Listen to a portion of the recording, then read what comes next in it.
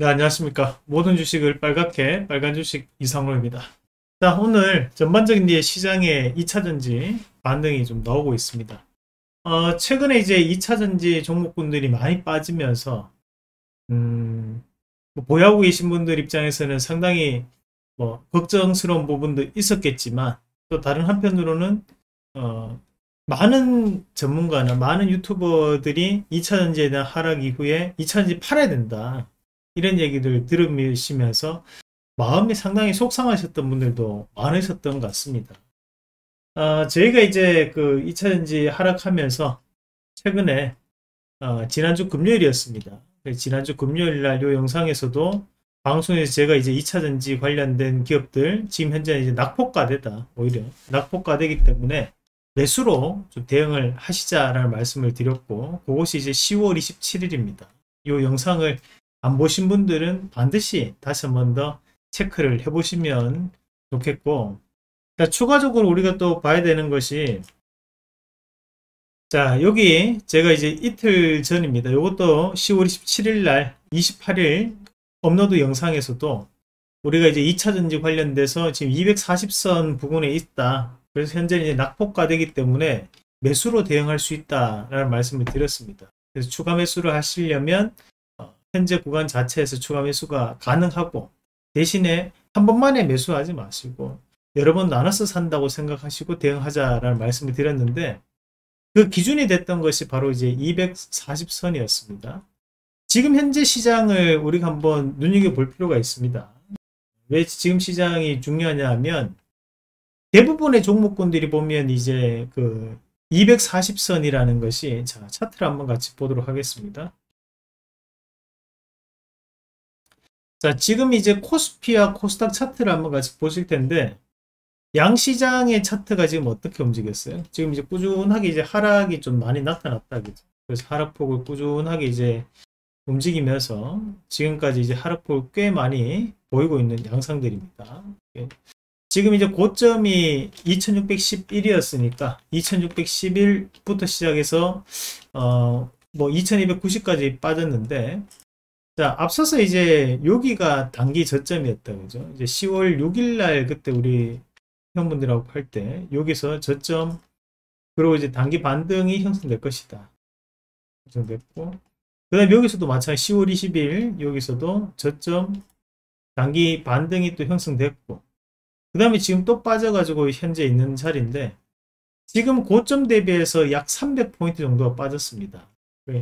음, 낙폭이 대단히 심해 있 다는 겁니다. 그런데 이제 지금 현재 시장에서 이제 주도주가 있느냐? 주도주는 현재 정해져 있지 않아요. 그건 무슨 말이냐 하면 대부분의 종목군들이 이제 낙폭과대에 대한 부분 자체에서 반등이 나오고 있는 과정이라고 보셔야 된다는 거죠. 결국 이제 낙폭이 크기 때문에 지금 반등이 나오는 거거든요. 자, 그러면 현재 구간 자체에서 우리가 봐야 되는 것이 낙폭이 크다는 것을 어떻게 알 수 있냐? 어떻게 알 수 있느냐? 자, 우선 이제 에코프로 한번 같이 오늘 보도록 하겠습니다.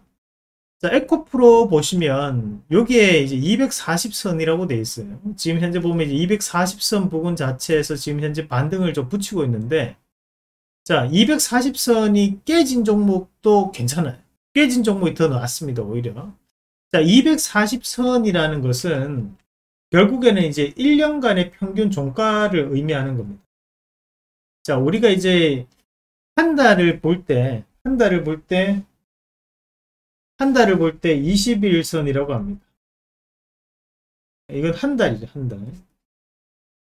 자, 그러면 이제 여섯 달은, 여섯 달은, 그러니까 우리가 이제 반기, 반기는 뭐예요, 이제? 이 121선이 되겠다. 그래, 12달, 1년은, 1년은 우리가 241선입니다. 자, 그러면 이제 240선이라는 것은 다른 의미로 바꿔서 하면 1년간의 평균 뭐예요? 이평선은 종가죠. 종가의 합입니다. 종가의 합. 요게 이제 240선. 그러면 이제 심리적인 지지에 대한 움직임, 심리적인 어, 변곡에 대한 움직임을 보일 수밖에 없는 것이 바로 240선입니다. 자, 그러면 이제 우리가 480선, 이건 이제 2년간의 평균 자리라고 봐야겠죠. 그럼 지금 이제 우리가 에코프로 그룹이 지금 반등이 나왔던 것이 에코프로가 이제 2023년도 1월 달부터 시작을 해가지고 어, 현재까지 이제 상승 꾸준하게 해야 하는데 여기에 대한 부분 자체에서 평균 종가가 현재 58만원 요 자리다 이 말입니다. 그죠? 자 그리고 이제 에코프로 BM도 보겠습니다. 자 에코프로 BM은 오히려 이제 240선 밑으로 내려왔습니다. 요 말은 뭡니까? 아 1년간의 평균 종가보다 현재는 더 싼 가격대에 내려와 있다. 이 거죠. 자 그런데 이제 지금 보면 2차전지 관련된 대부분의 기업들이 2023년도 이후부터 시세를 강하게 시세를 분출했어요. 물론 2017년부터 꾸준하게 올라왔던 종목이 대부분이지만 최근에 급등 양상을 보였던 양극재라든지 음극재나 전해질 분리막 리튬 관련된 기업들 대부분 2023년도 들어오고 난 다음에 미국 IRA 관련된 이슈가 나오고 급등이 얘기. 그러면 어, 세력이 남아 있다면 주가를 올리는 세력들이 남아있다면 그만큼 1년간의 평균 종가에 대한 부분 자체에 대해서 상당한 반등세를 이룰 수 있다고 해서 제가 지난주, 지난주 금요일 27일부터 여기서는 바닥권력이 형성될 수 있으니까 단기적으로 매수를 하셔도 좋다. 이 말씀을 드렸던 겁니다. 안 보신 분들한테 영상 다시 한 번 더 꼭 체크하십시오. 여기 어, 이 영상에도 올려져 있고 방송 요거는 한국경제TV 제가 방송에서 말씀드렸던 거고 이건 이제 저희 유튜브에서 영상을 올려서 말씀을 드렸던 내용이니까 반드시 한번 보시고 저희가 지난주 27일 날 공개 방송도 진행했어요. 그 공개 방송 때도 제가 2차 전지 관련된 기업들 240선까지 내려와 있는 자리니까 단기적인 반등이 무조건 들어온다. 그 말씀을 드렸습니다. 자 그러면서 이제 지금 현재 에코프로 에코프로 BM을 보셨는데 나머지 기업들도 한번 같이 체크를 해보면 자, 포스코 퓨처엠 같이 보겠습니다. 자, 포스코 퓨처엠 같은 경우에도 자, 240선에 대한 부분 이탈되면서 단기 반등을 보였고 단기 반등을 보였고 다시 한 번 더 바닥을 지금 다지는 자리 그런데 얘는 이제 1년간의 평균 종가살이 밑으로 내려와서 지금 현재는 2년간의 평균 종가살이까지도 위협받고 있는 자리입니다.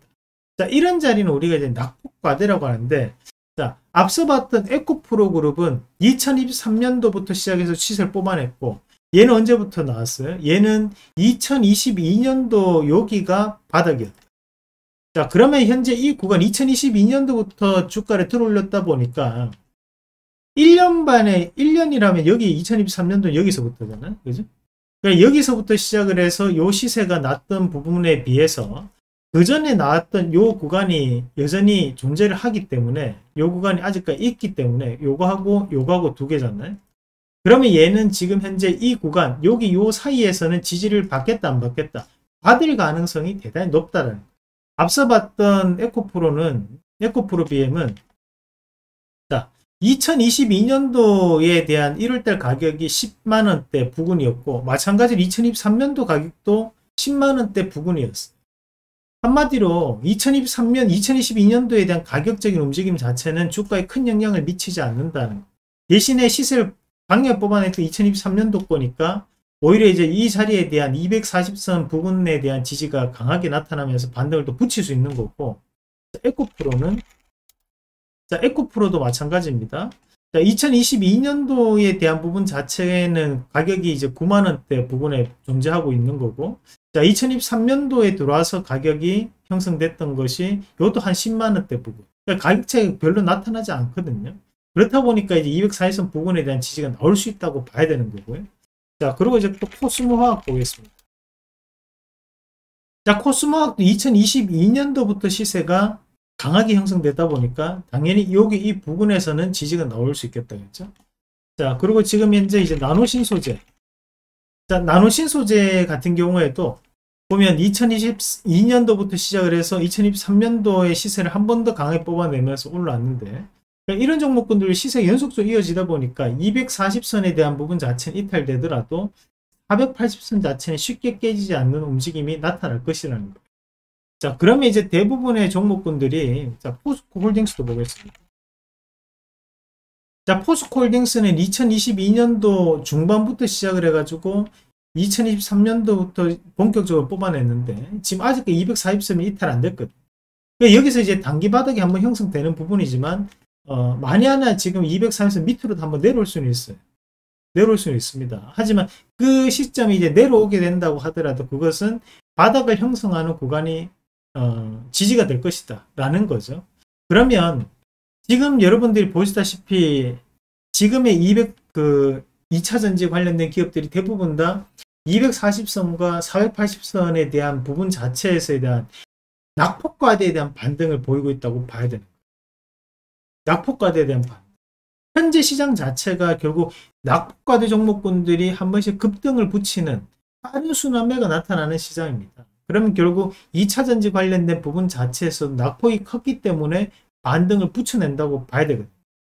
자, 오늘 시장에서 이제 금량이 급등이 좀 나오고 있는데 자, 금량 같은 경우에 마찬가지죠. 바닥에 대한 부분 자체가 드러났기 때문에 반등을 보인다고 봐야 돼요. 그러면 지금 현재 시장에 대한 분위기에서 코스피를 상승시키기 위해서는 반도체가 중요한 역할을 하지만 코스닥에 대한 낙폭과대를 해결하기 위해서는 2차 전지가 반드시 올라야 된다. 그러면서 AI라든지 로봇도 함께 올라줘야지만 코스닥 지수도 오를 수 있다는 그 내용을 우리가 27일 어, 날 함께 했던 거고 그것이 오늘 시장에서도 그대로 드러나는 부분이라고 봐야 됩니다. 자 그러면 대표님 여기가 완전히 2차전지 바닥을 짚고 넘어가는 시점입니까? 그건 또 아닙니다. 자 우리가 V자 반등을 보이기는 조금 어렵다고 봐야 돼요. 지수가 빠지면서 앞서서도 보셨다시피 지수가 빠지면서 다이렉트로 한번 쫙 빠진 것이 아니라 빠지다가 반등 붙이고 빠지고 반등 붙이고 빠지고 반등 붙이거든 지금 계속적으로 빠져서 반등 붙였죠? 빠지고 반등을 붙였단 말이에요. 이런 반등도 없었다면 이런 반등도 없었다면 여기에서 강한 반등을 붙이겠지만 지금 이제 빠질 때마다 반등을 붙여왔기 때문에 여기서도 반등을 붙인다 하더라도 또다시 한 번 더 제한적인 반등이 나올 것이라는 지금 보면 이제 앞에서 갭이 떨어지고 두 번째 또다시 한 번 더 그 전에도 2415포인트 갭이 한 번 떨어졌고 그럼 지금 이제 올라갈 때마다 이런 저항에 대한 자리를 한 번 다 테스트를 해줘야 됩니다. 그러면 우리가 코스닥이나 코스피 지수도 마찬가지로 반등 나올 때마다 다시 한번 이익 실현 매물 또는 악성 매물을 소화를 해줘야 되다 보니까 2차 전지가 오늘 반등 이후에도 어, 고장 V자 반등은 아니기 때문에 급하게 서둘러서 추격 매수는 하지 말자. 지금은 이제 가격적인 부분에서 승부를 봐야 되는 자리거든요. 그래서 앞서 말씀드렸다시피 240선과 480선에 대한 부분 자체를 기억을 하시면서 그 자리에 대해서 비슷하게 가격대가 내려왔을 때마다 모아 가신다면 충분히 지금 성과를 볼 수 있다라는 말씀을 드리도록 하겠습니다. 최근에 뭐 뉴스 조금만 들면 뭐 이차전지 이제 맛이 갔다 어, 또는 이제 어, 끝났다 이렇게 얘기하시는 분들도 많습니다. 뭐 그런 부분 자체 뭐 오를 때는 좋다고 얘기하고 빠질 때는 안 좋다. 뭐 그렇게 시장을 봐서는 저는 수익이 안 난다고 봅니다. 그런 시장은 없고 어, 주도주라는 것이 빠지더라도 주도주 역할은 할 수밖에 없어요. 그런 지금 시장을 이끌어왔던 것이 반도체, 2차전지, 자동차, AI 로봇 이쪽이기 때문에 다시 한 번 더 강하게 갈 수 있다고 봐요. 다만 반등을 붙이더라도 조금씩 항상 제한적인 반등이 나타날 수 있는 거니까 내가 반드시 바닥을 한 번만에 잡아내겠다라는 생각보다는 바닥을 여러 번 다지고 넘어갈 수 있다라는 생각으로 어, 분할 매수 관점으로 모아가는 전략으로 하신다면 충분히 성과를 볼 수 있다고 말씀드리겠습니다. 시장에서 안 좋은 얘기들 너무 듣지 마시고 2024년도, 2025년도가 미국 시장에서는 전기차 시장이 계약기적인 성격이 상당히 강합니다. 이것을 명심하시면서 이 또한 지나간다. 그렇게 봐주시면 좋겠습니다. 자, 어, 매일 이제 영상에 대한 부분 자체 이상로의 텐텐베거 한국경제TV 오후 1시 30분에 매일 방송을 하고 있습니다. 한국경제TV에서 제가 어, 또 진행하는 프로그램이니까 많이들 시청하시고 매주 수요일은 빨간맛 주식 또 제가 또 진행하는 프로그램이 있습니다. 자, 능력이 있으니까 진행을 하겠죠. 많이들 보시면서 시장에 대한 트렌드 잡아가시면서 시장에 대한 핵심적인 전략까지 챙겨가시길 바라겠습니다. 자 그럼 오늘 내용은 여기까지 하고 그 다음에 또더 좋은 내용으로 다시 찾아뵙도록 하겠습니다.